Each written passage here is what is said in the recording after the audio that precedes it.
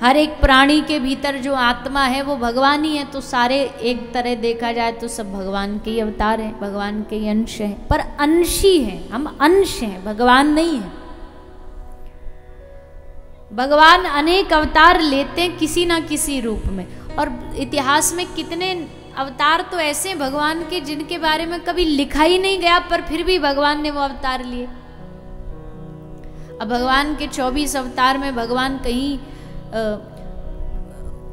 Cooker बने, ऐसा तो नहीं लिखा, पर ज्ञान देव जी ने उस कुत्ते में भगवान को देखा और कुत्ते में उनको भगवान दिख गए भगवान ने दर्शन भी दे दिया। ज्ञान देव जी के जीवन में कथा आती है, भोजन करने बैठे, रोटी खाने बैठे तो कुत्ता आ गया, कुत्ता रोटी लेके भाग गया। अब रोटी लेके भागा, अब भगवान के जो भक्त होते उनका देखने का नज़रिया कुछ और होता है।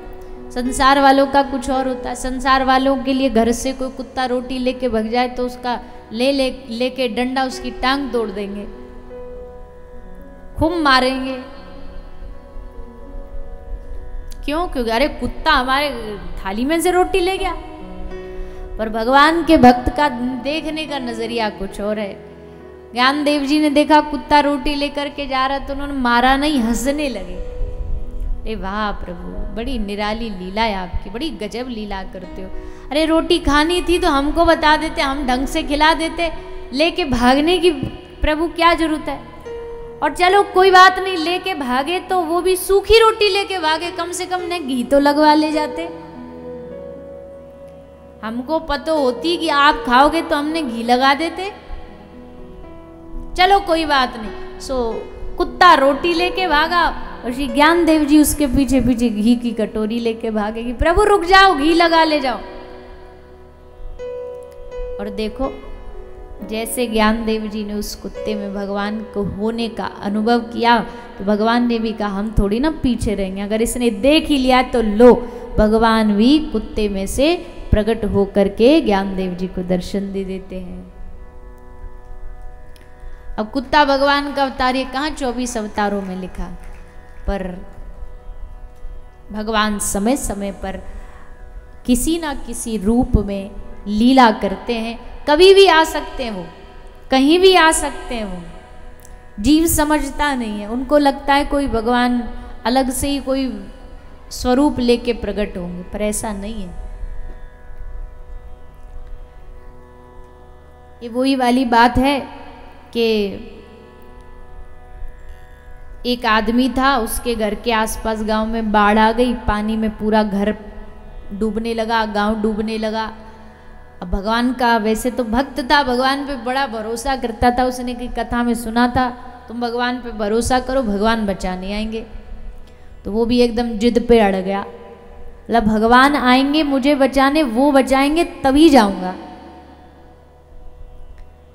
अब बाढ़ आ रही थी, एक नाव वाला आया। नाव वाले ने कहा, भाई साहब, आ जाओ, नाव में बैठ जाओ, डूब जाओगे? बोले, ना, भगवान आएँगे, मैं तो तभी जाऊँगा। सो चला गया नाव वाला।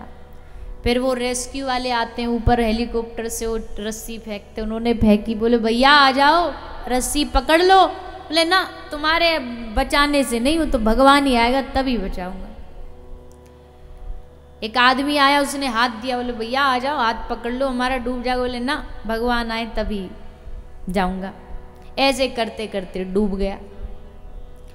अब मृत्यु के बाद गया ऊपर तो जा कर के एकदम गुस्से में था। बोला, हमको पहले भगवान से बात करने दो।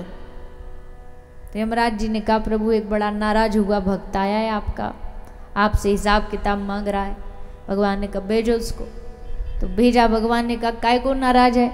बोले, हमने सुना था, तुम कहते हो कि जो मेरे आश्रित होता है, मैं उसे बचा लेता हूँ। मैंने कितना कहा था कि आप आओगे, तभी मैं बचूँगा, तभी मैं वहाँ से बाहर निकलूँगा, आप आए ही नहीं बचाने के लिए। तो भगवान ने मुस्कुरा के कहा रे पगले, वो जो नाव चलाने वाला, वो जो जहाज़ चलाने वाला, वो जो हाथ दे रहा था, तुझे पकड़ करके पानी से निकाल रहा था, वो क्या तेरे बाप ने भेजा था? वो सब कहाँ से आए थे? अरे मैं ही तो रूप बदल करके तुझे बचाने आया था, तू ही नहीं पहचान पाया तो मेरी क्या गलती है?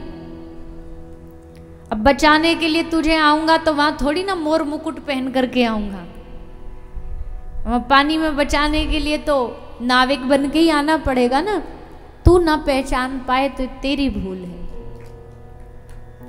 बात बड़ी सच्ची है कि भगवान कभी ना कभी, कहीं ना कहीं जब भी लगता है कि हम डूब रहे हैं, हम फिसल रहे हैं तो वो जो मदद का हाथ आगे बढ़ कर के आता ना, वो और कोई नहीं होता, वो भगवान ही होते हैं। वो किसी माध्यम से आगे बढ़ कर के मदद करने के लिए आते हैं।